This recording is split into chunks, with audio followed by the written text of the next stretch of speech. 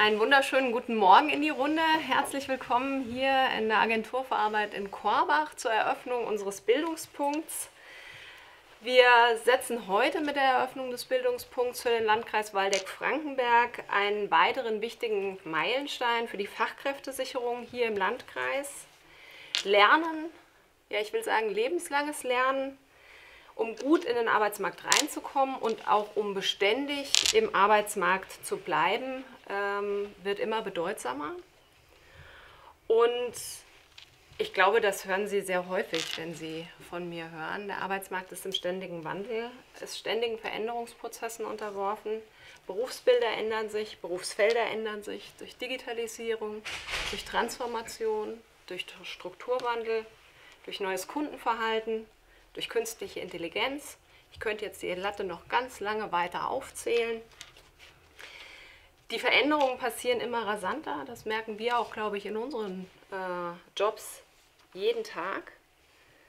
Und diese Änderungen und diese Veränderungen machen vor keiner Region halt. So auch nicht vor unserer hier. Und der Zukunftsforscher äh, Elvin Toffler hat in einer seiner vielen, vielen Vorträge gesagt, die Analphabeten des 21. Jahrhunderts werden nicht die sein, die nicht lesen und schreiben können, sondern das werden diejenigen sein, die nicht lernen, nicht verlernen und wieder neu lernen können. Und mit dem Bildungspunkt, den wir heute eröffnen, wollen wir lernen, wollen wir Qualifizierung, wollen wir Weiterbildung hier im Landkreis aktiv unterstützen. Wir wollen ein niederschwelliges Angebot machen, eine niederschwellige Anlaufstelle bieten für alle Qualifizierungs- und Weiterbildungsfragen.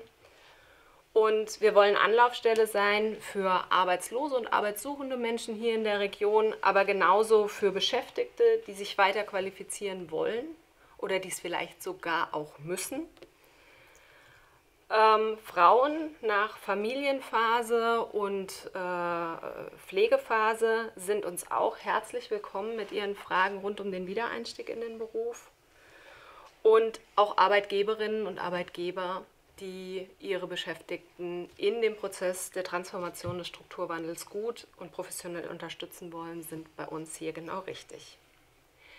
Aber wir wollen das alles hier nicht alleine umsetzen und wir wollen auch die Idee als Agentur für Arbeit nicht alleine verfolgen, dieses Bildungspunkts. Und dafür, daher freue ich mich sehr, dass wir hier gemeinschaftlich mit vielen relevanten Netzwerkpartnern im Landkreis ein Zeichen gelebter Netzwerkarbeit und guter Zusammenarbeit auch umsetzen.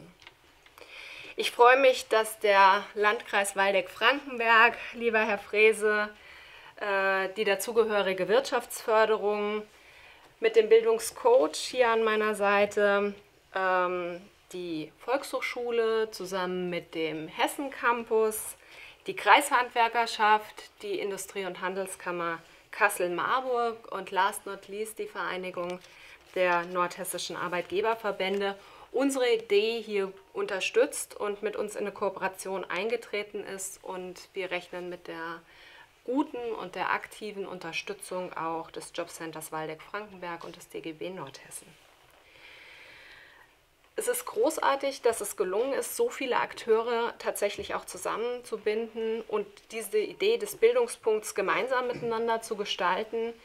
Ich finde, das ist tatsächlich ein Zeichen gelebter und aktiver Arbeitsmarktpolitik hier in der Region. Und ich habe es gesagt, wir wollen eine niederschwellige Anlaufstelle sein. Der Bildungspunkt in Korbach ist jeden Dienstag von 9 bis 12 und von 14 bis 17 Uhr geöffnet und kann ohne Termin besucht werden. Wir bieten mit dem Beraterinnen- und Beraternetzwerk aller Netzwerkpartner, die ich eben aufgezählt habe, hier ein persönliches Beratungsangebot in den Räumlichkeiten der Agentur für Arbeit vor Ort.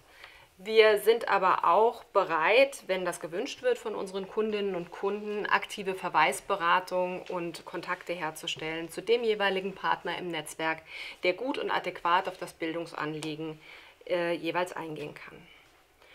Und das heute hier ist quasi ein Auftakt, ein erster Startpunkt für unseren Bildungspunkt.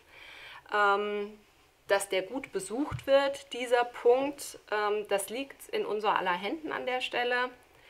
indem wir es weiter sagen, indem wir es weiter tragen, nämlich in Form dieser Flyer, dem auch die telefonische und elektronische Erreichbarkeit des Bildungspunkts entnommen werden kann. Und bevor ich schließe, mag ich allen Beteiligten, die jetzt hier auch mit im Raum stehen, mit den Beraterinnen und Beratern, mit dem Know-how, was sie einbringen, ganz herzlich für Engagement danken.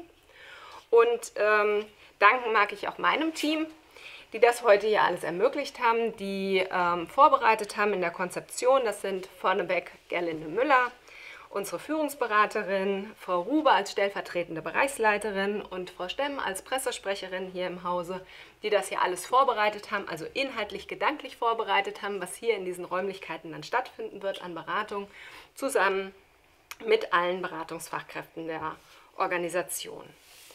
Und äh, jetzt bleibt mir noch, bevor ich an Herrn Frese übergebe, uns allen tatsächlich in der gemeinsamen Fachkräftesicherung hier in der Region weiterhin viel Erfolg zu wünschen, dem Bildungspunkt viele Besucherinnen und Besucher zu wünschen, damit wir tatsächlich das umsetzen, was wir uns als Motto auch vorgenommen haben, nämlich komm in den Punkt. Vielen Dank. Ihnen allen einen schönen guten Morgen und Ihnen, Frau Kern, und Ihrem Team herzlichen Glückwunsch zu der Einrichtung dieses Bildungspunktes. Ich glaube, wir alle, die wir vertreten sind, aber auch ich für den Landkreis Waldeck-Frankenberg finden das ausgesprochen gut, dass Sie die Initiative ergriffen haben, mit diesem von ihm gerade beschriebenen niederschwelligen Angebot etwas zu tun für einen Bereich, in dem wir ja alle tätig sind. Wir haben alle vielfältige Aufgaben. Ich will auf unsere Aufgaben schwerpunktmäßig eingehen. Das ist einmal die Kundinnen und Kunden aus dem Bereich des SGB 12, die wir versuchen wollen äh, in Arbeit zu bringen. Dann sind wir mit der aufsuchenden Jugendarbeit unterwegs, mit der Schulsozialarbeit unterwegs und immer wieder stellen wir fest, wir kommen da mit unseren Angeboten aus der Verwaltung heraus an Grenzen. Und deshalb ist es schön und richtig und gut, liebe Frau Kern, dass Sie äh, federführend mit uns allen gemeinsam dieses niederschwellige Angebot anbieten, wo äh, Menschen, die sich weiter qualifizieren sollen, wollen oder auch müssen, dann ein möglichst passgenaues Angebot finden, um sich halt weiter zu qualifizieren, um sich fit zu machen für den Arbeitsmarkt und sich damit auch fit zu machen für ein Leben äh, ohne Finanzierung oder Kofinanzierung aus irgendwelchen sozialen Kassen. Denn nur dann haben wir mündige Bürgerinnen und Bürger, wenn uns das gelingt, alle auskömmlich mit einem eigenen Einkommen zu versorgen. Deshalb ist das eine gute Sache und eine gute Chance für die Menschen in Waldeck-Frankenberg.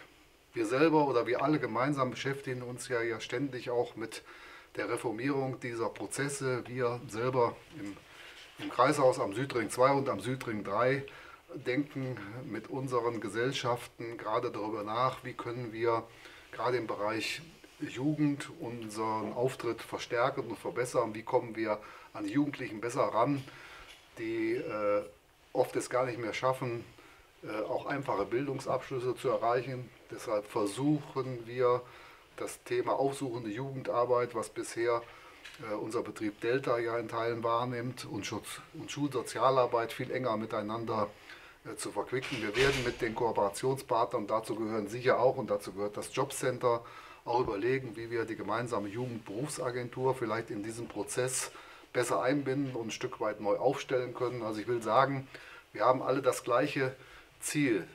Junge Menschen oder Menschen, die unserer Hilfe und Unterstützung benötigen, zu unterstützen auf dem Weg in die Arbeitswelten und damit auch auf dem Weg in die Zivilgesellschaft. Und ein weiterer Schwerpunkt, der jetzt nicht so bei uns angelegt ist, aber sicherlich auch bei unserer Wirtschaftsförderung und bei anderen Netzwerkpartnern, ist halt die Weiterbildung, die Weiterqualifikation. Sie haben das Tempo der Änderung der Wissensgesellschaft eben angesprochen und auch dafür ist es erforderlich, dass wir den Menschen Angebote machen, wie man sich weiterqualifiziert, wie man vielleicht nach Zeiten des Ausstiegs aus dem Beruf wieder eine Rückkehr findet in die Arbeitswelt. Und deshalb habe ich mich sehr über Ihre Initiative gefreut, diesen Bildungspunkt äh, aufzubauen heute in Betrieb zu nehmen, mit Hilfe von Frau Dämmer und allen anderen auch bekannt zu machen in einer Öffentlichkeit. Und ich wünsche einen guten Start und gutes Gelingen herzlichen Glückwunsch, eine tolle Sache. Herzlichen Dank. Ja, super. Moment. So. Also, dann mal ein Foto. Moment. Ja, prima. Wollen Sie noch durchschneiden? Ja. Halt, Moment, aber jetzt